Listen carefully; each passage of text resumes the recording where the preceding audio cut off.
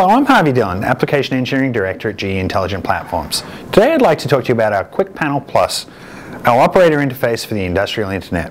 We designed the next generation Quick Panel with productivity, insight, and user experience in mind.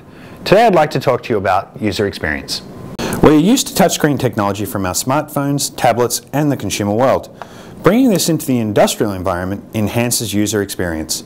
The capacitive multi-touchscreen is highly responsive, even while wearing gloves, and it's also robust enough to withstand industrial settings. The widescreen high-resolution display allows for more complete process visualization and fewer screen transitions for a faster pull of information.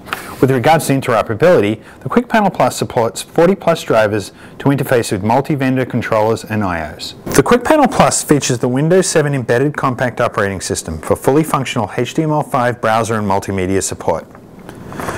This lets your workers pull up troubleshooting videos, maintenance manuals, or parts shipment schedules.